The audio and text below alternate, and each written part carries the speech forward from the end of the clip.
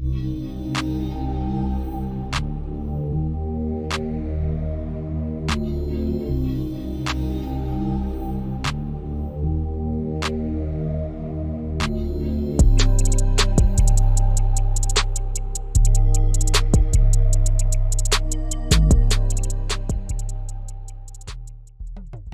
what's good, y'all? Welcome back to the channel. Today I'll be going back to my roots a little bit. Be doing a tutorial on how to run multiple copies of Diablo 2 Resurrected, just like I do in my streams.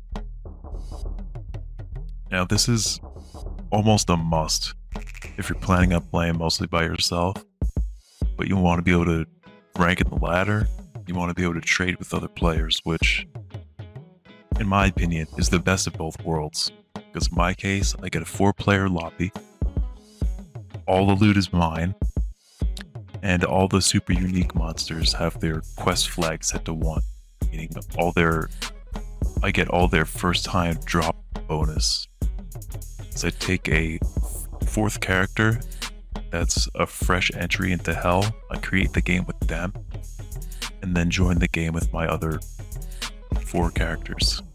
It, it's goaded. Now, the best case would be able to find it someone else like me that has a four box. We go into the same game we split uh, farming routes. Like they get Act 1 and 3, and I get Act 4 and 5, for example. That way, you get the highest drop chance for everything, and you retain all the loot. You don't gotta fight for shit, which is like kind of one of the biggest pain in the asses in this game, especially if you have like a shittier computer. I vacuum up loot straight up. Like, you're not to beat me if we're in the same game. But I feel bad for other people, so. You can't just hog everything the whole time.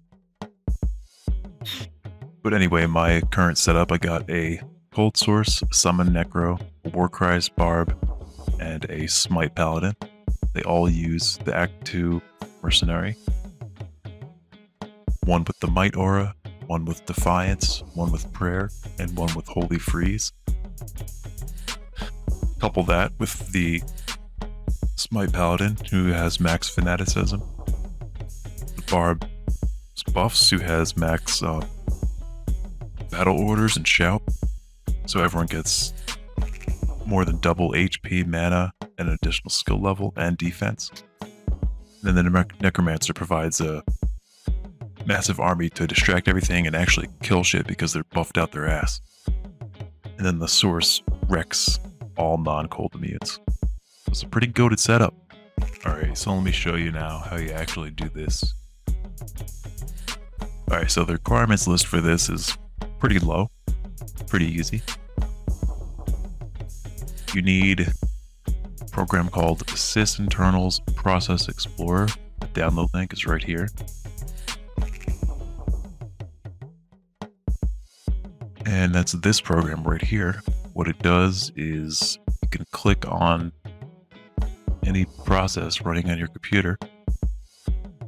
Can see all the handles associated with that process. And you can also view, if you wanted to, all associated DLLs with these executables. But we don't need the DLL we just need to be able to find a handle for this. So I'm going to go back to the view and switch to handles. And the second thing you're going to need is as many Battle.net accounts with copies of Diablo 2 Resurrected as you want to run. So for me, I have four different accounts, got four different games running. So the first step, go to the install directories of your copies uh, this is the optional part right here.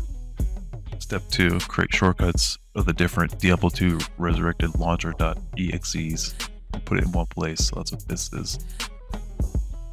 See the install location for these are all different. It's a copy, it's a copy 2, and this is the normal one. So once you have that, you run one of them.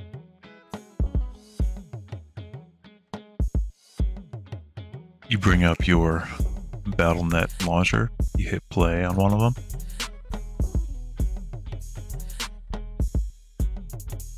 Going to launch the game. Now, I haven't tested this part yet, doing it this early, but I'm going to try it now. So you go to the game, executable, and by default, you want to look for an event called Diablo 2 check for other instances. By default, the events are filtered towards the top, so you should be able to just click on one of these and find it as like the one, two, three, four, seventh item down. Right click that, select close handle. Yes. And that handle goes away. We go into the game, go into the lobby.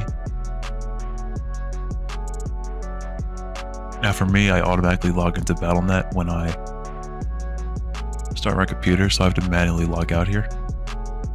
Close the app. The app should no longer be running here. Gone. So let me go to the next one. Run it.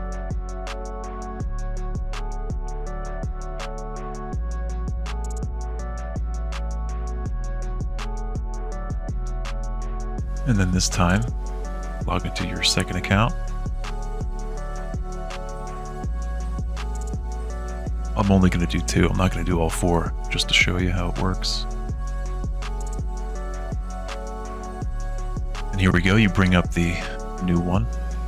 And look, the play button is selectable. It doesn't show that one's already running, so you can hit play.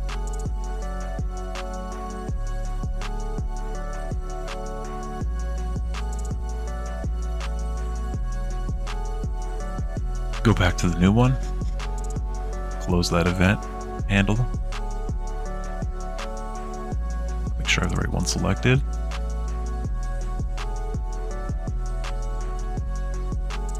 And yeah, that's really it right here. That's all you gotta do.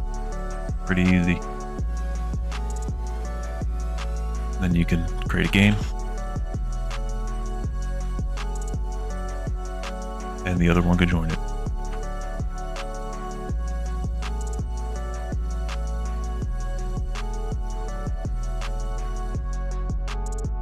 Both in the same game, as you can see. Here we are.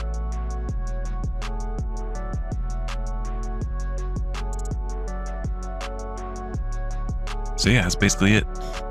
And then you just repeat that process from one to six here for each instance you want. And that's it. That's all you got to do. So, uh, yeah. Enjoy. Happy hunting. Thanks for watching. If anybody else has a, uh, four stack copy that they want to group up with and farm with me, I'm always down to split hell or something. Just hit me up. Anyway, that's it. Thanks for watching, everybody. Check the uh, the Twitter down here. I usually say when I go live.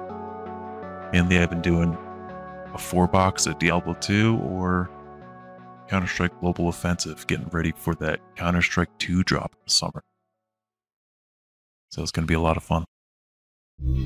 Anyway, y'all, thanks for watching. I'll see you next time. Peace.